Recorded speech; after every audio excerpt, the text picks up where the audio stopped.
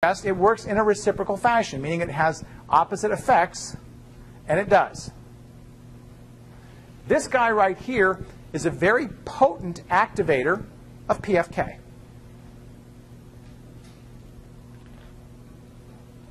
It's a very potent inhibitor of fructose 1,6 bisphosphate, which you may recall is the corresponding enzyme to PFK in gluconeogenesis.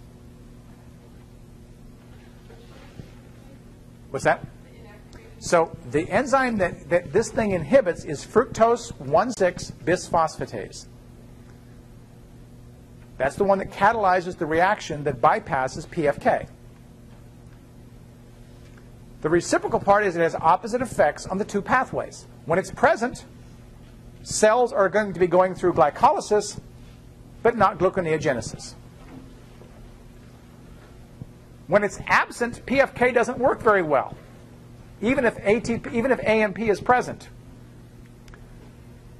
Therefore, PFK shuts down, and F16BPase starts up. So when it's absent, we'll be going through gluconeogenesis. When it's present, we'll be going through glycolysis. Opposite effects based on whether it's present or not present. Reciprocal regulation is a very efficient way of controlling things inside of cells. And we'll see other examples of it when we talk about glycogen metabolism. That'll occur in a, in a slightly different way. Does that make sense? Don't confuse this guy with F16BP. It's not the same thing. It looks like it, but it's not the same thing. This guy was only discovered in the 1980s. And the reason it took so long to discover it is it's present in such tiny amounts in cells, it just wasn't recognized as, as an intermediate. It takes very, very little of this material to turn on glycolysis and turn off gluconeogenesis. Very, very tiny amounts. So it's very hard to detect. Yes, Stuart. What's that? Okay, is this only present in liver? The answer is no. Okay, so you actually have fructose 1,6 bisphosphatase happening in other cells. What's missing in other cells are things like hexo like like uh, G6Pase and PEPCK. So controlling fructose 1,6 bisphosphatase is an issue for all cells. Yes, Lynette. It turns on glycolysis by turning on PFK. Gluconeogenesis by turning off fructose 1,6 bisphosphatase. Okay? Yes? So, this is the thing I was alluding to earlier. That's correct.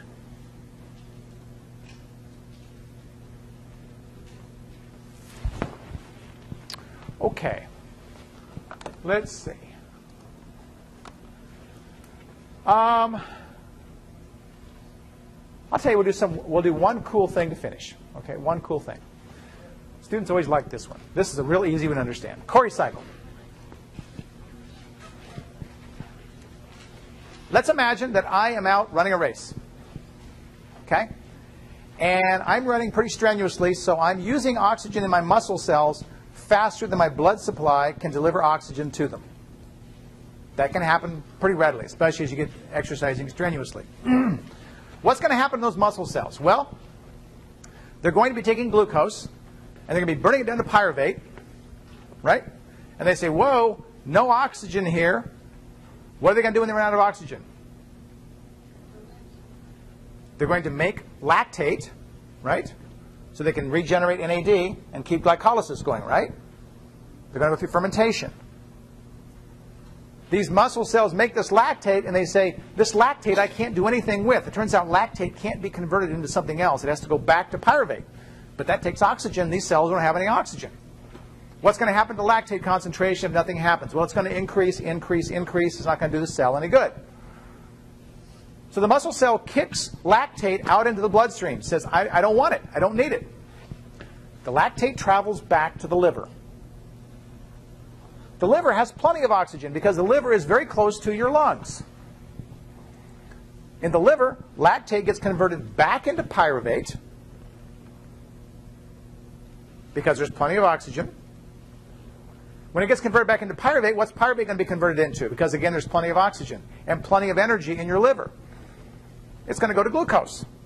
So the liver is going to convert lactate to pyruvate, pyruvate to glucose, and the liver says, hey, this guy's running. The blood concentration of glucose is low. What am I going to do? I'm going to dump this out into the bloodstream, and guess where that glucose is going to go? To the muscle cells. The muscle cells are going to use that glucose and keep themselves going. This cycle is called the Cori cycle. It was named for a, a husband and wife team that discovered it. And it's a very essential uh, cycle for anybody who's exercising, or any organism that's exercising reasonably heavily. In this cycle, your liver is responding to the needs of the body by producing glucose, and it's using the waste of the cells that are using that glucose to make it. It's very, very efficient. It works because the liver is relatively energy rich and the liver is oxygen rich. Muscles, which are a long ways away from the lungs, aren't so oxygen rich and they have to ferment. Make sense? Okay, that's a good stopping point. Let's stop there and I will see you guys tomorrow. Yes, sir. Would you say, so some people that argue against the lactic acid being a cause of muscle ache, would they say it's because of this? They would say that you don't produce enough lactic acid to cause the problems that people associate with it.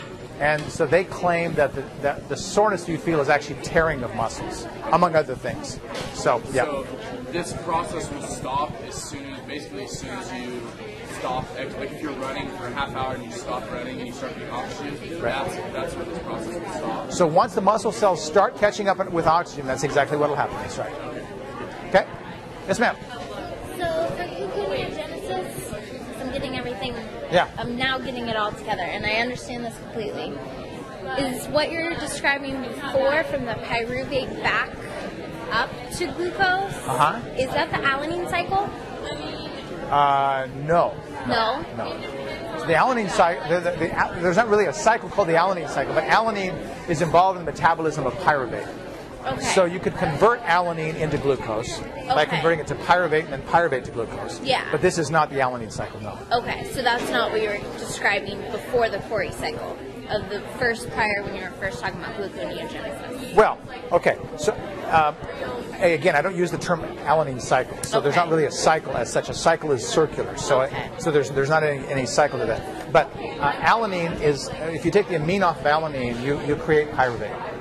Okay. So that's all this, that happens there. So when your body needs to make glucose, for example, mm-hmm. and you're not eating anything, it's going to it's going to start breaking down proteins and using some of the amino acids to make glu- glucose, and one of them it can use is alanine. Okay, that's That's what you're thinking. Yes. Okay? Okay. Thank you. Sure.